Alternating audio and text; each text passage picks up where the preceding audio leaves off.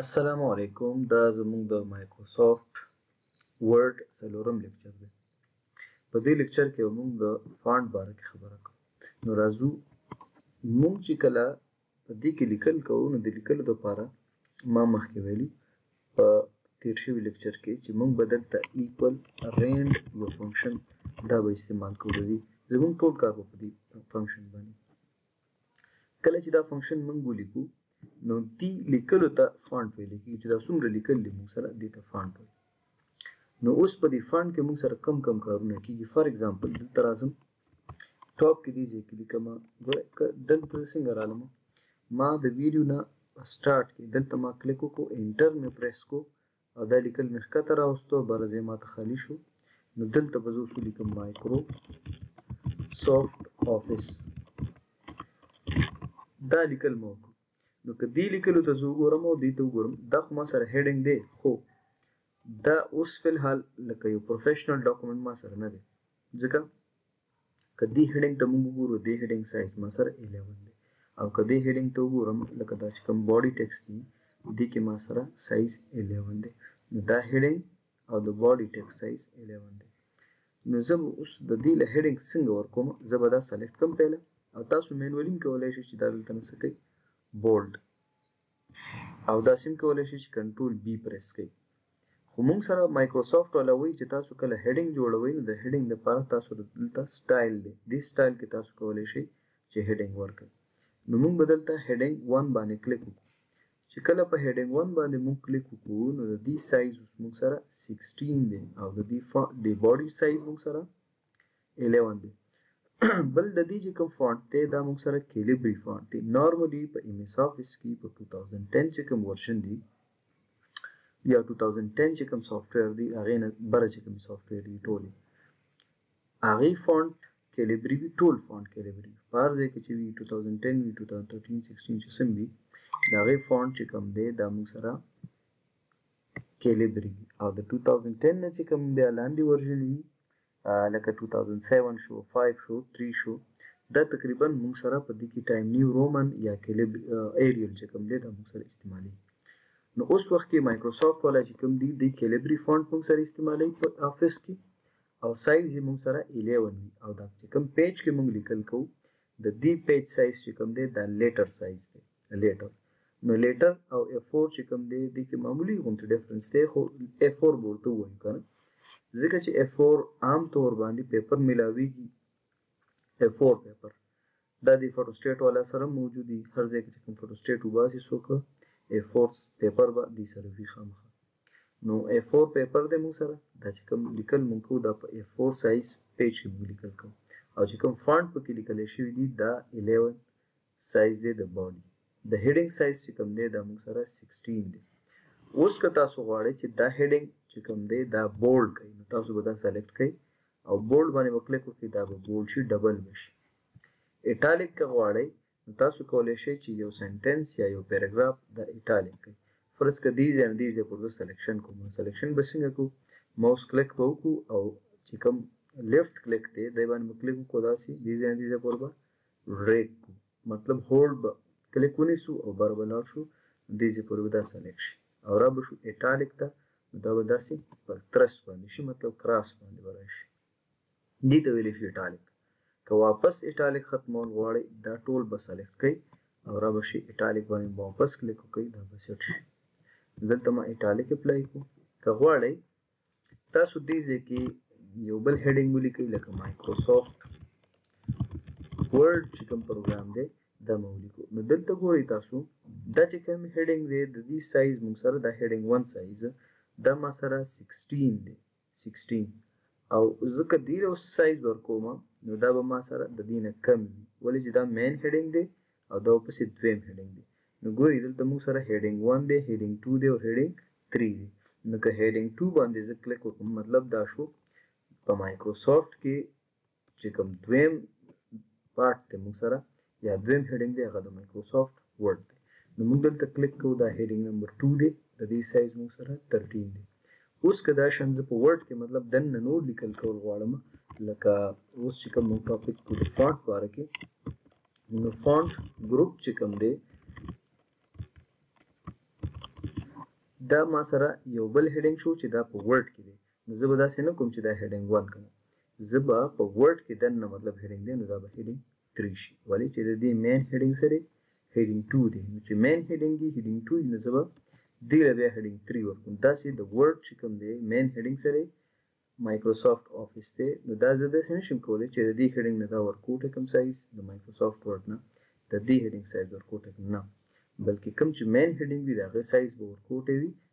په نسبت د هغه سیکنډ چې کوم هیډینګ وي موږ سره هیډینګ 2 نو داسې موږ سره دا هیډینګ 3 شو دا هیډینګ 2 شو دا هیډینګ 1 شو د هر یو سایز چې کوم دی دا ډیفرنٹ دی که زه دلته کلیک وکړم دا 12 سایز دی که دې دویم هډینګ کې کلیک کوم دا 13 دی او که دریم هډینګ کې زه کلیک کوم دا 16 دی د سی حساب سره تاسو کولای شئ چې دله یو انډرلاین هم ورکړئ نو کلیک وکړئ دا به انډرلاین شي که تاسو غواړئ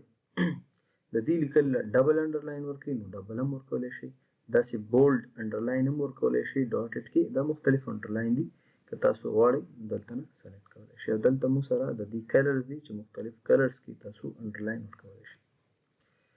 بل موږ سره یو آپشن دی د فانټ د سایز د غټولو نو که تاسو دا سلیکټ کړئ او دلته نه دې سایز کموئ یا غټوئ نو دلته هم سایز کمول غټولی شئ فرض که دا چې کوم سایز دی د دې سایز زه لږ غټوم نو داسې سایز تاسو غټولی شئ دا هر څومره تقریبا 1000 پلس چې کوم دی دا تاسو تلی شئ د سایز غټول خو دومره ضرورت نه وي په یو ډاکومنټ کې میکسیمم میکسیمم ستاسو 28 چې کوم دی زیات سایز چې کوم دی د یو هډینګ یا د یو ټایټل دا ستاسو په کار دی 28 پورې نو موږ سره چې کوم دا ټیکس دی دی ټیکس سایز 11 او 12 سایز تقریبا چې میکسیمم په کار دی او د هډینګ سایز چې کوم دی دا 16 یا 18 پلس کنه مطلب 18 نه پورې تاسو تللی شئ او مینیمم مینیمم چې کوم دی دا تاسو تقریبا 12 پورې لیکلی شئ ولې چې باډي ټیکس موږ سره بیا 11 دی او که تاسو دا هم لیکئ 11 نو بیا به دلته نه بورډ کوئ چې تاسو سره هډینګ کلیر ښکاري صفحه دا اصل کې موږ د کلیئرټي لپاره راولو چې دا فونټ موږ لږه چې کوم هډینګ دی دا موږ سایز لږ غټو دی دا موږ سره د بولډ، د ایټالیک او د انډرلاین باره کې خبره. بل موږ سره سایز دلته نم غټیږي که تاسو دا هیډنګ سلیکټ کړئ نو دلته نم سایز غټولی شئ، دلته نه یې کمولی شئ او دلته نم سایز غټولی او کمولی شئ. او په کیبورډ کې تاسو سره یو بټن ده کنټرول او کرلي بریکټ چې کوم دی دا تاسو پریس کړئ نو بیا به تاسو راځي کرلي بریکټ سره کله چې سټارټ پریس کړئ سټارټ کرلي بریکټ نو دې سره سایز ورکوټی کیږي او چې کله کرلي بریکټ چې کوم دی دا آف کړئ مطلب بند کړئ بریکټ نو دې سره به سایز غټېږي دا زموږ سره د سایز د غټېدو طریقې بل موږ سره په دې کې دي کیسز نو کیسز څه کار کوي که تاسو غواړئ په یو پیراګراف لا مطلب چې کوم د پیراګراف فونټ دی د دې چې کوم کیس دی دا چینج کړئ لکه مطلب اپر کیس ته کنورټ کړئ یا کیپټلایز ایچ ورډ ته کنورټ کړئ او یا سنټنس کیس ته کنورټ کړئ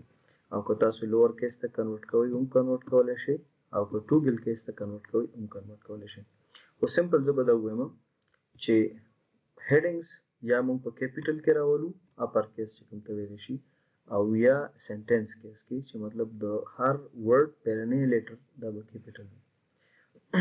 بل مو سره که یو پیراګراف وو هغه تاسو کیپیټل کوئ هم دغه طریقې سره سیم سلیکشن به کوئ د هر یو پاراګراف د هر یو سنټنس د هر یو ورډ د پاره به سلیکشن لازمي وي چې کله سلیکشن وکړئ په هغه سیس کې به چینجز کیږي کوم چې تاسو سلیکټ کړی نو ټوګل کیس څه ته ویل کېږي ټوګل کیس دې ته وایي چې تاسو سره به د هر یو چې کوم ورډ دی د هغې پیلنی لیټر به دا به سمال وي باقي به څه وي کپيټل دلته راځم ګوره سنټنس کيس شو داسې موږ سره لوور کيس ټول سمال ته کنورټ شو بيا دلته راځم اپر کيس ټول به کپيټل ته کنورټ شي داسې کپيټلایز ایچ ورډ نو د هر یو پهلنی لیټر چې کوم دی د هر یو ورډ پهلنی لیټر به کپيټل وي او که تاسو ټوګل کيس ته راشئ نو د هر یو ورډ پيلنی ليټر به څه وي دا به په سمال کې وي دا زموږ سره د دي طريقه ده که تاسو غواړي سنټنس کيس ته کنورټ کړئ کلک په وکړئ نارمل خپل حالت ته کنورټ شي دا د کيسز طريقه وه بل راځو موږ سره په دې کې سټریک ترو کمانډ دی نو سټریک ترو کمانډ څه کار کوي که په یو ډاکومنټ کې موږ سره څه غلط لیکل شوي یا څه غلط وي نو تاسو به لکه فار اګزامپل تاسو ته یو کس ډاکومنټ راولیږلو او تاسو ته وایي چې د دې کې ماته غلطۍ نه روباسي یا چې کوم ځای غلط دی هغه ماته مارک کړه نو تاسو به داسې نه کوئ چې تاسو دا سلیکټ کړئ او دلته نه ډیلیټ کړئ دا ډیلیټ والا اپشن به نه استعمالوئ تاسو به سمپل سټریک ترو کمانډ باندې به کلیک وکړئ نو د دې مطلب دا شو چې دا غلط دي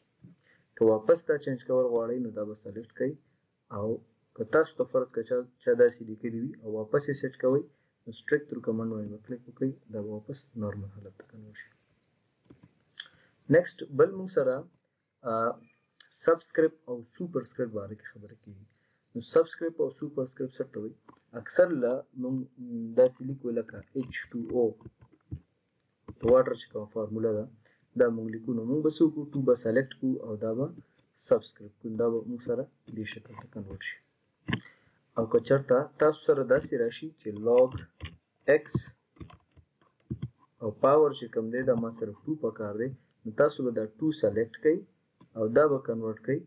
سوپر سکرپټ ته دا به داسې راځي یا داسې موږ لیکلی شو چې 5 پاور 2 دا 2 به سلیکټ کو او دا به سکو سوپر سکرپټ دې لپاره شارټ کټ طریقه چې کوم دا هغه کنټرول شیفټ ایکول کنټرول شیفټ ایکول واپس نه بس شو کنټرول ایکول چې کوم دی دا سب سکرپټ دا زموږ سره د سب او د سوپر سکرپټ طریقه بل موږ سره په دې کې چې کوم دی په دې ډاکومنټ کې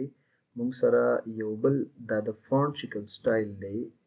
دا مونږ سره دی لکه فار ایگزامپل زه دا سلیکټ کوم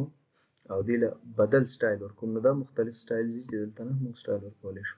داسې که تاسو د دې اوټلاین چینج کول غواړئ نو اوټلاین ته به راشو او دې ځای کې مختلف اوټلاین دي چې دا ورکې اوټلاین مطلب چې کوم آوټ سایډ ته بارډر دی د دې بارډر ته اوټلاین ویل شي دا زموږ سره اوټلاین دی نو که تاسو دا وګورئ په منځ کې ټیکس یو شانته دی او بار بارډر چې کوم دی دا موږ سره بلو شو داسې شیډو ده که تاسو غواړئ دې له شیډو ورکړئ د فونټ بیک سایډ ته به معمولي غوندې شیډو تاسو ته ښکاري په نظر به لږ لږ راځي نو دې ته ویلی شي شیډو داسې ریفلیکشن دی پکې که تاسو ریفلیکشن اپلای کول غواړئ دا ریفلیکشن دی داسې ګلو ده پکې دا مختلف سټایلز دي چې تاسو دلته نه بیا د فونټ له سټایل ورکولی شئ نیکسټ راځو بل موږ سره په دې کې چې کوم دي هایلایټس دي هایلایټر څه کار کوي